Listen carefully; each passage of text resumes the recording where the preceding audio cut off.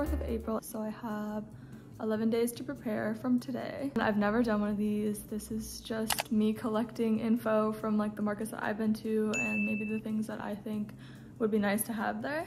So the number one thing that I wanted to make sure I did was have a way for people to contact me after the market. So I wanted to make sure that I made business cards and I designed my business cards in Canva. I love Canva. If you've ordered a Minigru piece, you know I hand stamp all my tags and stuff like that and my thank you cards. So I wanted my logo to be hand stamped, but I couldn't fathom the idea of hand stamping every single business card. Basically all I do is hand stamped Minigru Studios and then I scanned it on my phone and then put that into Canva. Then I just put it into the Avery website. You can print business cards, you can print labels, stickers, everything on the Avery website. So I highly recommend them. So this is how they turned out. It says Minigru Studios, intentional fashion. Oh, I guess it's backwards, but you guys get the idea. The next thing I did was make all of these. So these I actually did hand stamp and I just feel like these look nicer than having like the plastic things. This market is both vintage and handmade stuff. So that means I can sell some of my vintage pieces. It's like 80 degrees today. But I'm gonna watch the library because I think I've said this in a vlog before, but I don't have a printer and I don't really want to invest in one right now. For now, what I've been doing is just going to the library to print there because it's like 10 cents a page or something like that. So I'm gonna go to the library and try to make a few things in Canva. Basically signage, like stuff that I can put in frames and then print it out there. I actually don't know if I'll get it done today, but if I do, I'll just print it. I do have this rack, which is small, but I do want to just go ahead and get another rack um, to put stuff on and maybe separate it by like Minigru pieces and then vintage pieces and have like two different racks. Hi friends. So this morning I did some research on different POS systems for the market because this is another really big thing that I'm worried about for in-person sales. So I'm using Shopify right now. I've used Shopify since August. I'm kind of already committed to Shopify because all my stuff is on there. I know how to use it. All my analytics are already there. And as far as in-person sales go, I know you can also use Venmo, but you have to get a business account. I kind of just want everything in one place, if that makes sense. So then I was also looking at Square, which isn't a website, but it is like all the hardware and stuff. So most card readers, they'll charge you per like swipe, dip, and tap if that makes sense. The Shopify one is like 2.7% for in-person sales. For the Shopify hardware, the most basic thing that you can buy is just the card reader for $49. I think you get free shipping with that too. The Square as of right now. The card reader is the same price and the fee for Square is 2.6% plus 10 cents. So it's a little bit less. This is my opinion, okay? Once again, I don't know anything. I think that the Shopify POS, if you already have Shopify, is really good because it keeps it all in order. You're already paying for the plan, so you wouldn't have to do anything on top of that. If you don't have Shopify and you haven't opened a site yet, maybe look into Square a little bit more. I think for me, I'm just gonna get the Shopify POS so then I can keep all my finances in order. So we're just gonna test it out. So I'm gonna order this thing. Hopefully it's here on time. I think it's pretty quick. Sorry, that was a lot of information, but I think that it might be useful to someone, maybe.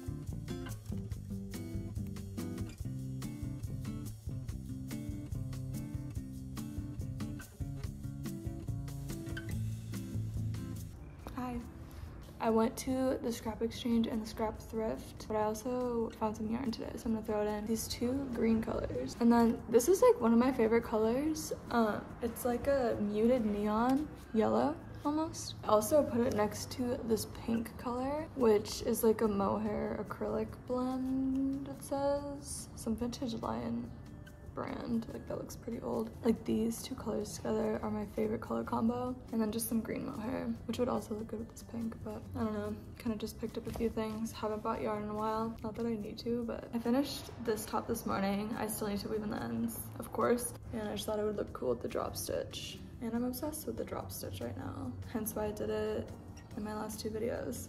Quick try on. That's what it looks like on. Yeah.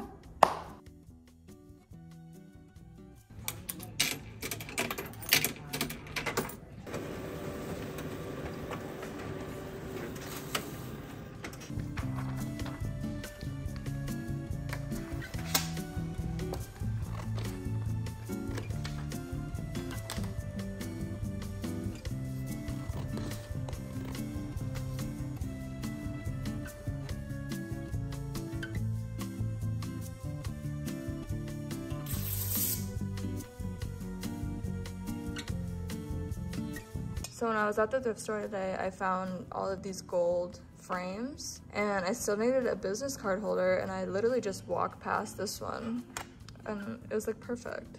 50 cents.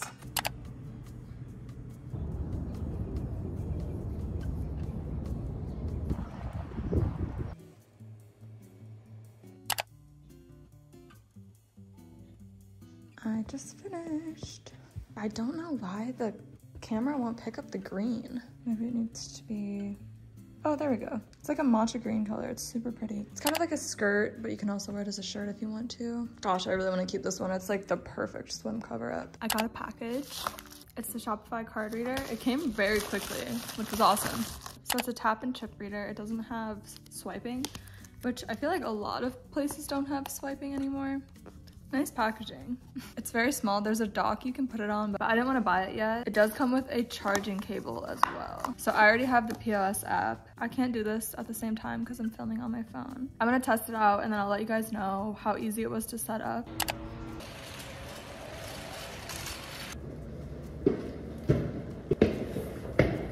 I got this beautiful rack off of Facebook Marketplace. I like that it's white because then it matches with my other one that I was gonna bring. And it's also adjustable.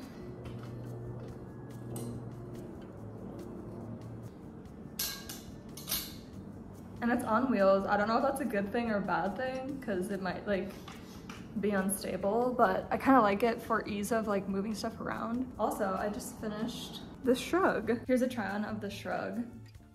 So I ended up doing a little bit of a bell sleeve, as you can see. I did the sleeves a little bit shorter so they're not like hanging over your hand because bell sleeves are already like in the way all the time. So I thought if it was a little bit shorter, it'd be more manageable as far as like everyday wear. I think I'm gonna start making smaller things um, instead of like any more bigger pieces. I do wanna make a bunch of these little crochet bows. Just have like a little bowl of these bows that you can pretty much just put on everything. But if you just slip a bobby pin, it looks kind of dumb with what I'm wearing right now, but because I want to have a range of prices for people to explore. I also have a lot of my old projects that have just been sitting there that I'm going to sell. Like a little hair bandana.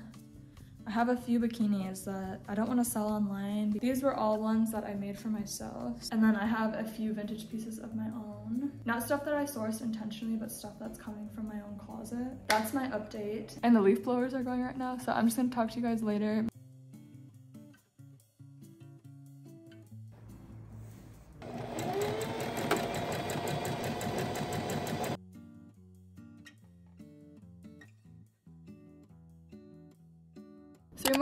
Market. Today I'm gonna spend some time like finalizing these pieces because as you can see we have some loose ends that I need to weave in. I also made a bunch of hair accessories this morning, so I need to weave in the ends on these. Tomorrow I'm gonna try to price everything and put it all in a spreadsheet, and then it's the market day. And I think I have everything like business-wise. I just need to finish up like the finishing touches, stuff like that. I added a little bow to the shrug. The ends need to be weaved in here. Same with this one, I think. These are two older pieces of mine. I think I'll put them up pretty cheap. This is a nightmare for me. If you guys know me, I hate weaving in ends. One more day into the market. I got this little table today, which I just covered with a crocheted blanket. It looks a little small, so I might have to move a few things around and kind of figure it out. I also have a ton of ribbons, so I kind of just tied them in little bows and people can take them for free. People can tie them in their hair, on their bags. This is the vintage rack, so I just need to price everything now. Today is the day. It's like 6.30. I'm gonna get ready, do my makeups. I think I'm equally nervous and excited. I can't really tell you. I already did my hair and makeup, so I'm just gonna sit here and think about what to wear. I thought I had an idea, but now I kind of want to change my mind.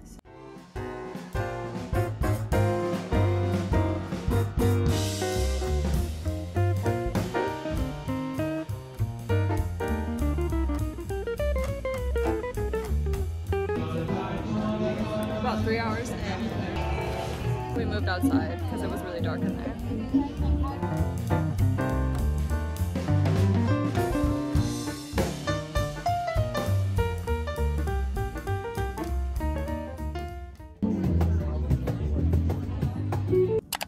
It's a few days after the market, so I thought I would do a little wrap up. Just a little bit of background on this specific market. So the person that was putting on this market, she was having a porch sale and we kind of just got to talking and she mentioned that she was trying to plan out a market and I was like, I'll, I'm down if you need vendors. So this was technically like the first one that she put on at the venue that I was at. She like planned the whole thing. It turned out amazing. Rachel, if you're watching this, you did great. Such a fun experience and I had such a great time. So I actually didn't have that much stuff compared to a lot of other vintage sellers. So I kind of just packed up the day of, packed everything in those big Ikea bags. I'll insert a photo of the bags that I'm talking about, but those are so good to haul like soft items in. So I already had everything hung up as you guys saw and I just kind of like left it on the hanger and just put it in those bags. And I just want to say shout out to Elliot, my boyfriend, because he helped me with everything. I honestly couldn't imagine doing this without him. He helped me pack the car, drove the car, got me lunch. Like he's awesome. So thank you. I really appreciate him. I definitely would recommend having at least one person to help you out depending on how much stuff you have. Like, you definitely could like do it alone, but it would just take so much longer.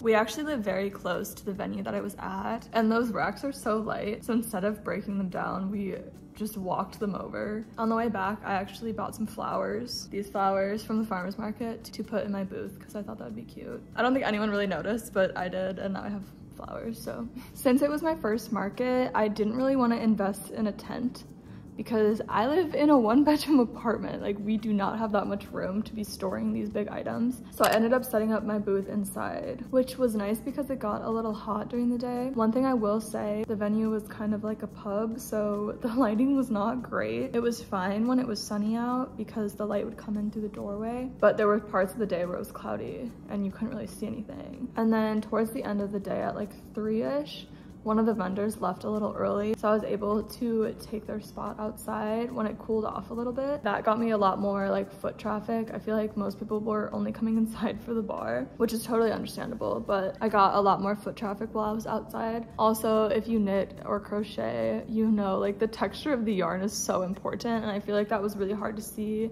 in the dark but once you could see it in the sun it looked just so much nicer and like the colors and stuff like that. So but i'm honestly glad i wasn't outside in the beginning of the day because it was hot and i didn't have a tent. Like i think i would have been sweating. There was pros and cons to both situations. I priced my vintage items pretty low because obviously my handmade items were a lot more pricey because a lot more time goes into those. So I wanted to have a good range of prices for people. So I decided that my vintage pieces would be at a little bit of a lower price point to kind of balance it out a little bit. At markets like this, it's kind of harder to sell your bigger items. Obviously, people are coming to the market to find like multiple pieces and kind of hunt for stuff um, which makes it a little bit harder to spend all your money on one thing. People might want to buy a few smaller things rather than just one big thing. So keep that in mind, at least in my experience or like kind of my thought process. That's what I thought of it as. Like I said, get a good range of prices. And I also had a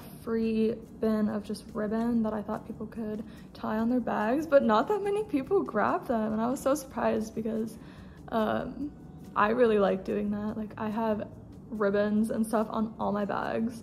Yeah, I still have so much left over. So I didn't sell as many Minigru pieces as I thought I would, which is understandable now that I've explained like the pricing thing where like people want to buy multiple things rather than just one big thing. But I will mention I did sell my most expensive item, which was awesome. This lady, she just immediately went up to this piece and said, I need this. And I was kind of waiting for her to like elaborate on it. And she was like, no, like I need this. Pulls out her wallet. And then I was like, oh my gosh, awesome. Like I pulled out my card reader and she was like, oh, I can pay you in cash. So I had the item for $85 and she pulls out 520s and I was like, oh, let me grab you change. She's like, no, just keep it. So she just gave me like a $100, which is freaking awesome. That really just made me so happy with like how fast she made the decision to buy it and then just like, you know, just bought it. Yeah, that was just really cool. So that's like the one thing that I'll mention as far as selling goes. I'll also tell you guys how much I made, like total. So many other people were super complimentary to all my Minigru pieces. And that face-to-face -face interaction was really cool because I've never had that before. Everything I've done is pretty much online. But I do want to mention one big thing that I think people are concerned about a lot of the time when trying to start markets and stuff, and that's how to take payment. It can get confusing. Most people use Venmo or Cash and then other people use Square. You guys know that I got the Shopify card reader, so I wanted to just talk a little bit about my experience using that. I freaking loved the Shopify card reader. I charged it the night before. It did not really run out of battery at all. It lasted the whole entire day. Everything was linked to my Shopify, which is the website that I use to sell, which just made things so much easier. I put everything that I was selling into the app. So when someone would pull it out, I didn't even have to check the price of it. I literally just would search it, tap, they would do their card thing or whatever, and it just worked so smoothly. I loved it. I also took cash for a few transactions. The card reader was honestly awesome. It was $51. They shipped it for free and now I'll always have it for any like in-person sales that I'll be doing. I know people do use Square as well. I would recommend the Shopify card reader if you already have Shopify. Like all my stuff's already in there and I don't really feel like switching over if I were to. Another big thing that I wanted out of this market was just socializing and meeting new people in a space that I kind of feel comfortable in, I guess I would say. I met so many cool people and I just really enjoyed like talking to people. I'm still fairly new to North Carolina, so the social aspect was just really fun. And it was at a bar, so it was kind of just like everyone was kind of just hanging out and there was music. Also, the business cards that I showed you guys earlier, I don't think anyone really took them on their own. So I ended up kind of just like starting to pass them out if people were looking at the Minigru stuff. I'd be like, oh, here's a card if you want to check out the website. So I would say maybe they're not a necessity, but I always thought that they were. I'm still really glad that I have them on hand now. I don't have to like order them again if I need any. Now I just want to mention kind of like selling online versus selling in person. Like they both have pros and cons. Selling online is nice. Like I style and model everything on my website so you can kind of get an idea of what it would look like on someone. And like in person on a hanger, you don't really get that effect. But being in person, you can get a better idea of what like the garment actually is, like how it it feels, the colors, stuff like that. So I think that's a benefit. There was a fitting room there, so if people wanted to try it on, they could, which was super nice. So now the moment you've all been waiting for is how much did I make at my first market? At my first in-person market, I made around $315. I also have no idea what other people make at these things. I didn't really do any research on that before. I don't really have a gauge on the number if it's good or bad just keep that in mind. I got my vendor feedback, I got my card reader feedback, which is kind of just my goal. The vendor fee for this market was $50, but overall, I just wanted to kind of get some experience selling in person. Um, I definitely feel more confident to do other markets. At the same time, I don't have a lot of space to store stuff, and I know people that do this for a living, like sell vintage clothes at markets, like I don't know where you guys keep all your stuff. I just don't have the room to be storing that much stuff. So this might be like a once a month thing for me. So final thoughts. I really, really enjoyed my first market. It was so much fun. So yeah, I had a great time and I definitely cannot wait to do one next month, but I don't think I will be consistently doing these like every weekend or anything. I think it's a good addition to my online stuff. If you have any questions, I'm by no means an expert on this. Like I said, this was my first one, but I'll try to answer them for you or DM me if you want to do that. Obviously, there's so many factors that go into doing markets, like where you're located, you know, like how much foot traffic. If it's a popular market that's advertised really, really well and that's been going on for years, um, those are all things that go into it. I really hope you enjoyed and I hope that I was transparent enough about like how much I made and stuff so you know like maybe if it's worth it for you to do these or not. If you enjoyed this video, make sure you give it a like, comment down below if you have any questions or if you want another one of these market vlogs. Also at the next market, I'll try to film more. I just do you know how freaking awkward it is to film in public? Like, I'm still not used to it, and I've been making videos, but like, it's so awkward, especially around a bunch of people that you just met, and I don't want people to feel uncomfortable, so that's that. Other than that, make sure you subscribe if you want more videos like this. It really, really helps me out, and it helps me know to keep making videos for you guys if you like them. So that's all I wanted to say about the market. Thanks for watching, bye.